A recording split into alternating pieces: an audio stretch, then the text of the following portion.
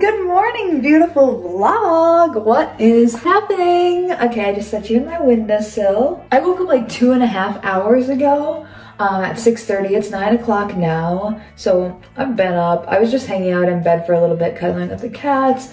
Then I got up and I did like you know, some workouts, like Pilates kind of stuff. I fed the cats. You'll probably hear Whiskey.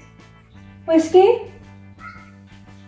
I fed the cats and then she's been begging to go outside all morning even though we have the catio open. Andrew built a catio for the cats just so that they can go in and have like an open air area that's screened in so they can't like escape and get into trouble because I don't let my cats outside without a harness on and like my supervision. So Whiskey's begging to do that now because that's just like her thing. She loves going outside with the harness but it is cold out and I have stuff to do right now so I can't take her out. But the catio is open and she could just go hang out in there but she's choosing to sit and meow at me. So if you hear a cat in the background, that would be her. I thought that I would vlog today because we have the biggest show that we've done yet.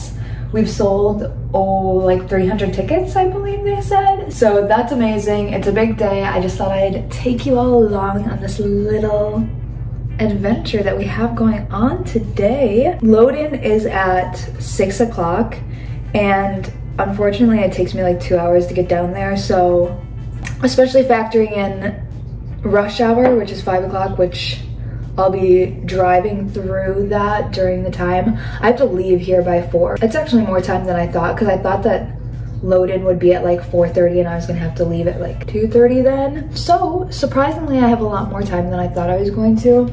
I need to blanch some vegetables that my mom sent me. My parents have this farm in Wisconsin where they grow it's just like a vegetable farm. They have some fruit trees too, but mostly vegetables. They have chickens. They want to get other animals, but for now they are focusing on like organically grown produce. So every time I go up to visit my family in my hometown, I come back with so many vegetables. I have just like a produce haul here. Like, let me just show you. I can't use all of this at once, so I really have to um, preserve it. They said that I could put the onions in the basement, just somewhere cool and dark, and they should preserve well. So I've got these. I have another basket of those red ones in here. And then I have a whole thing of yellow. Like this entire thing is just full of onions. So love that. Got onions coming out the wazoo. Three of these little squash. This is the last one. But those can stay. That's not what I'm worried about. It's the rutabaga that's in my refrigerator. This is a rutabaga. I don't know. It's kind of like, at least in America, I've noticed, it's more of like a Midwest Northern thing. Like a lot of people don't know what rutabaga is. Some people were saying that it reminds them of like a giant radish and I can kind of see that, but not as spicy as a radish. They smell like broccoli to me, like kind of stinky in a way, but there's a lot of things you can do with them. Mostly what my family did with them when we were growing up is like put them in soups. I've been pan frying it. I like it pan fried too. Or they were pickling some of it too. Whatever anyways though, I need to blanch it and then freeze it. Blanching essentially is just boiling it for a little bit and then soaking it in an ice water bath so that it like stops the cooking process and it's supposed to preserve a lot of the nutrients and like the color and flavor and everything by storing it that way. But look at how gorgeous these are. So pretty, the colors are beautiful. It's also our friend's album release party show. So it's a Festivus time. Anyways, the band is Kangaroo Court. You might have heard me talking about them before. We went on tour with them up in Wisconsin for like a short little weekend run. I also kind of want to make a cake, you guys, because it is their album release party. I don't know, it's just cause for celebration. Like, oh, for our album release party, we had a cake backstage and it was just like the vibe. Like, it was great for photos. It was fun. It felt like more of a celebration. And um, yeah, I, I'm in kind of like a baking mood recently or just a cooking mood. So I've gotten thus far. I decided I'm gonna make some vegetable soup and bring with, since I have so many vegetables, And then I remembered that I had this whole bag of potatoes too from my parents.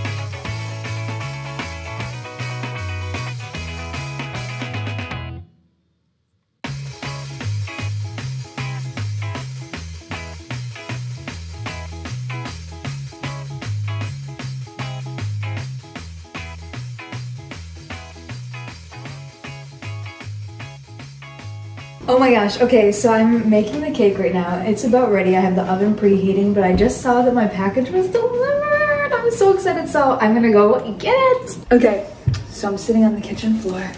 I've got the package, something that I ordered off of eBay. And I had been looking at it for a while and I was trying to decide because it was kind of like a bigger purchase for me. So I saved it and I had been watching them for a little bit. And then uh, they made me an offer and I waited till the offer wasn't available anymore. I decided that I did want them, so I made them an offer. They didn't accept. And then I asked if they would just honor the previous offer that they had given me, and they did. These Fly London boots. I'm obsessed with them. I had been looking for some motorcycle boots and nothing was really just like calling my name. Like I have seen some before that I really like. Nothing online for sale that I was seeing was really calling my name. And then I came across these and they're so cool. They have the fly on the straps. I kind of want to wear these to the show today. I didn't think that they were going to come today. Um, the seller said that they were going to, but then the tracking was telling me that it was going to show up tomorrow. And then I looked this morning just out of hoping and dreaming. And I saw that they were in my town and out for delivery. So um, yeah, it kind of put me off to a really good start. Okay, the outfit I get is kind of weird, but the shoes are freaking cool. I love them. Okay, while the cake is finishing cooking, I did two separate layers. Um, so it's just the top part that's finishing up in the oven. I'm gonna start, yes, I'm gonna start getting ready. This is Verge in case you haven't met him yet. He's a darling dear. That's done. I made the dumplings, put those in the soup and they're cooking on just like a low heat. I already made up the frosting, so I just figured I'm gonna start kind of getting ready for the show. Then I'll have to take the cake out. The cake will have to cool. I think I'm gonna start doing my hair and makeup and then pack my show bag kind of get my outfits ready. It's kind of raining out, so I'm trying to decide what I'm gonna do with my hair. I'm really excited about my outfit. I actually have so much to tell you about it. Okay, bad news, but we have to leave now apparently because Andrew has to pick up something um, for the show, so ah, I don't know, but I'm just gonna bring a bunch of necklaces. This is what I'm wearing for the show. My amazing, wonderful friend Leia made this set. She just started up her company again. She's doing like a little rebrand. Um, I'm bringing these shoes. Here comes Andrew. and these tights and now I just have to pick out an outfit for wearing to the show. This is editing Devyn. I'm popping in because I was running short on time here and I wanted to give the proper shout out to my friend Leia Yanita and her business, Leia Yanita Rocks, who made this amazing outfit that I got to wear for this show. She absolutely killed it. Like this piece is everything and all of the energy that I hope to emit. She told me that she was going for a mix of Cherie Currie and Raggedy Ann and I feel like that just perfectly describes this outfit that she made for me. Well, now she is reopening and she's doing a little bit of a rebrand. Like I had mentioned, her new shop name is Leia Yanita Rocks. And this shop is going more for like a glam rock and punk fashion inspiration. I am obsessed with that combination. I would say that is a pretty good way of describing my own style. So I have been loving everything she's been putting out. Everything is custom, so she does all sizes. She's so inclusive and she focuses on using scrap textiles, which I think is just so important and so brilliant. So I highly encourage you to go check out her socials, follow her there, uh, check out her website if you're in the market for some new clothes. She can make you something perfect. She can make you something one of a kind. Check out the link down in the description. Thank you so much, Leia, and enjoy the rest of the video. Okay, this is my leaving outfit. Um, this little tunic kind of thing, these vintage shorts, the boots, my knee-highs denim jacket. Let's go. Oh yeah, and these sunglasses. Now I'm getting out the cake looks so pretty. Ah, I'm really, really happy with it, so now I just have to figure out how to get this there. Two hour drive, mm, no big deal.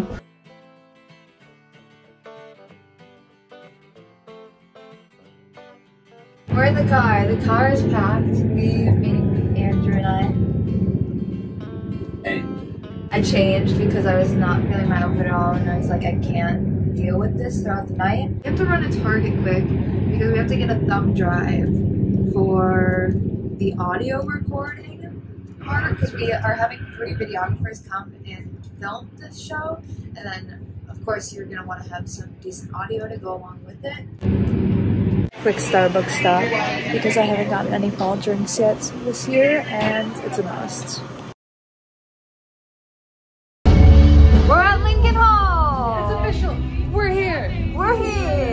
Two-ish hours to go long. Woo! Woo!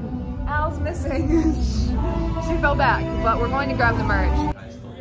Oh my gosh, it's really happening. Chris made it. Chris made that. I did not, but I wish I did. It looks just like it though. Yeah. We gotta go line check. With the drop.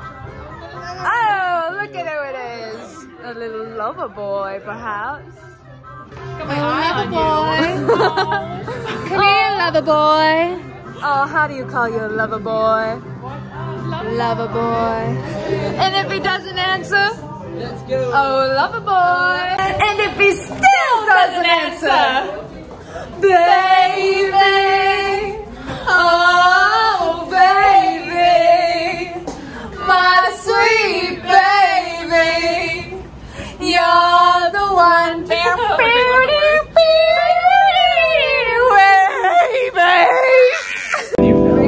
Went down. Took Chris took a tumble. Seat's a little wobbly. Yeah, let's. Chris.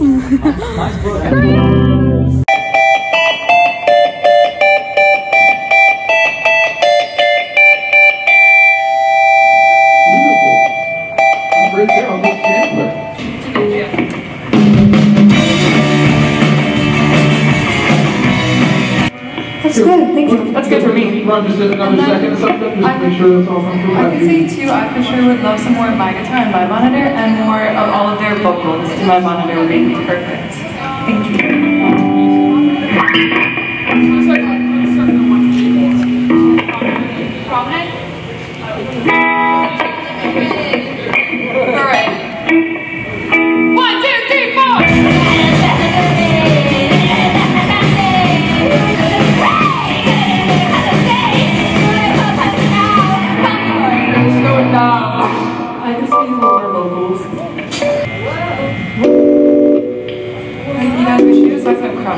As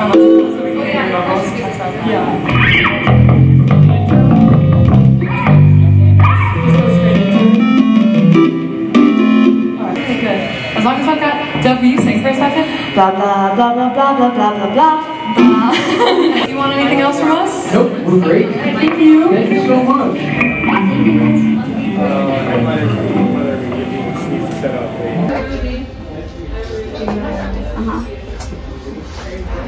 Right there. Just line it up with that. Pre-show fittings. by Victoria. Stylist Victoria. Extraordinaire. My favorite beans. Our savior. I mean, nice and fitted. Casual straddle.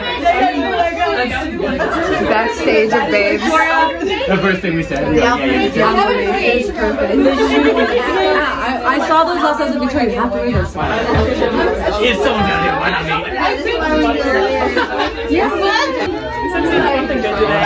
Got my eye on you. Oh my goodness. I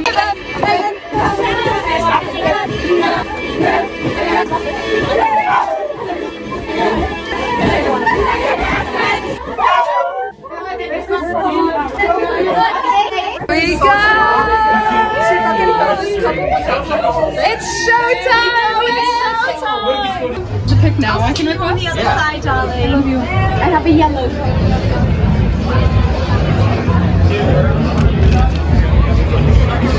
Oh my.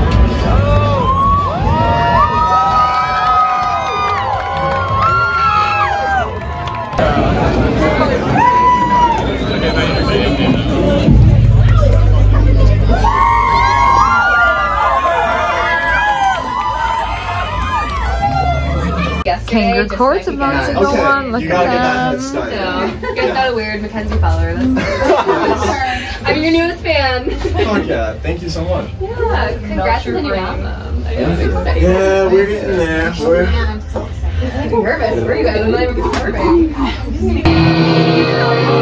okay, I figured.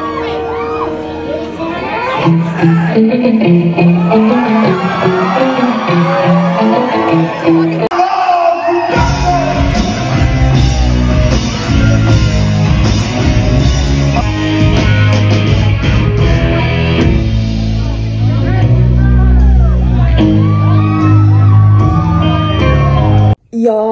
I am so dead right now. It is the morning after the show, or not so much morning. It's noon, but I have been awake all morning basically. I've been laying in bed though because I feel horrible. I hurt every single place on my body.